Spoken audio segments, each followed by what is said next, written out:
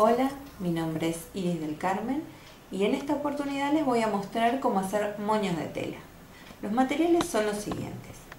Pistola de silicona, hilo de coser, tijera, dos retazos de tela, uno de 20 por 14 aproximadamente y otro de 3 por 4 y una base de alguna hebilla. La técnica es la siguiente. Tomamos el rectángulo, llevamos los lados más largos hacia el centro,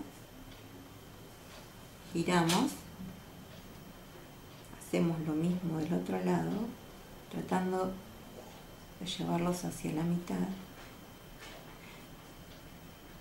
Hay que tratar de encimar más o menos medio centímetro, un poquito más. Luego giramos y el lado que está cruzado va para abajo. Empezamos a hacer tres pliegues, siendo así. Luego con el hilo de coser vamos a sujetar con varias vueltas, ejerciendo presión para que no se nos desarme. Esa sería la base del moño. El hilo de coser no se va a ver porque con el rectángulo más pequeño vamos a formar la cinta que va en el medio tapando el hilo.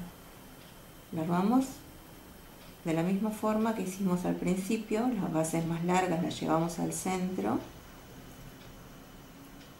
lo giramos, apoyamos sobre el centro del moño. En esta parte puede ir cosido o con un poco de pistola de silicona, que es mucho más rápido.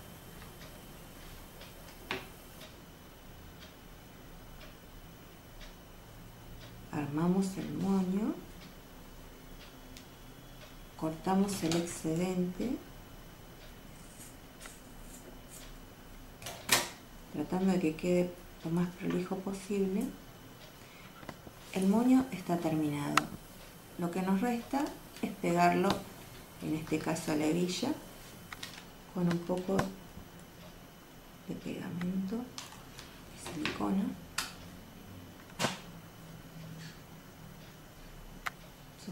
apretamos un poquito y nos queda la hebillita terminada. También podemos hacer moños más chiquititos hacer hebillas o sujetadores. Bueno, espero les haya gustado la técnica y la pueden aplicar en distintos accesorios u otras cosas. Muchas gracias.